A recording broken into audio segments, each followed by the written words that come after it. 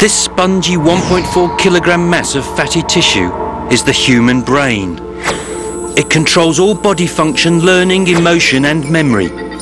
It creates extraordinary works of science and art. And it's capable of doing roughly 100 trillion calculations per second. The brain is the most complex organ in the human body and one which neuroscientists admit they barely understand. So it's not surprising that when the brain malfunctions, it's sometimes interpreted as a psychiatric disorder. My worst fear was, oh my gosh, if I tell anyone, they're going to put me in a mental institution.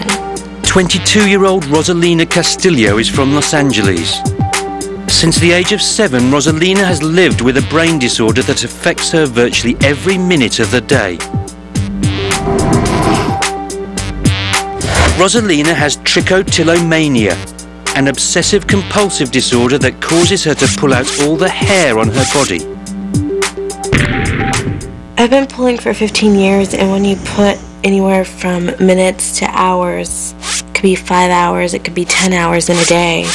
It's wearing, and sometimes there's points where I have to stop pulling because my elbow can't keep going back and forth. Up to 11 million people in the United States alone suffer from trichotillomania, and no one's really understood what causes it, let alone find a cure. Until recently, doctors thought it was a psychiatric disorder mainly treatable by therapy. But one researcher, working with mice like this, now believes it could be genetic. One of the things that we understand least well is how does genes uh, affect behavior, and in particular, uh, all the different uh, neuropsychiatric disorders. And so this is sort of the last frontier in terms of the diseases that we know least about. Professor Mario Capecchi is a geneticist at the University of Utah in Salt Lake City in the United States. He's been studying these mice using a process he pioneered called gene targeting. What gene targeting allows us to do is to modify in any conceivable manner any chosen gene.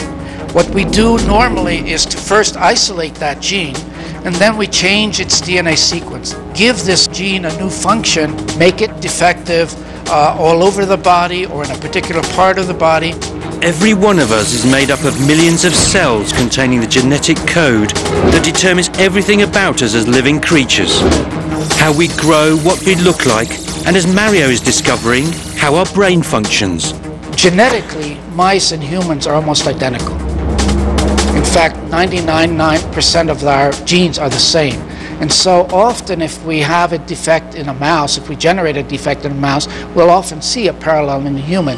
Mario's discoveries could point to an explanation for trichotillomania. This behavior is actually very similar to humans with trichotillomania. Furthermore, Mario has found the HOXB8 gene in parts of the brain normally associated with obsessive compulsive disorders. It's evidence that the cause of trichotillomania could be a brain malfunction caused by genes, not a brain disorder caused by a psychological problem like stress, nor a physical habit like scratching an itch. One thing you can ask, well, maybe they just feel itch, okay? However, these mice, if you put a normal mouse in the same cage with this, these particular mice, they not only want to groom themselves, but they also want to groom the other. So that tells us the brain somehow has to be involved. That is, a mouse can't feel the itch on another mouse. And therefore, they, they have a compulsion to do this grooming. Mario is now running tests to see if the HOXB8 gene is the gene that causes the same problem in humans. If it is, there could be a chance of modifying it to provide a cure. That's some way down the line, but it's an important new source of hope for sufferers like Rosalina. I would feel um, relief if uh, Dr. Capecchi finds that it's genetic just because there's an actual reason, not a possibility of it being mental. There's an, a full like rock solid reasoning behind it. It gives me hope.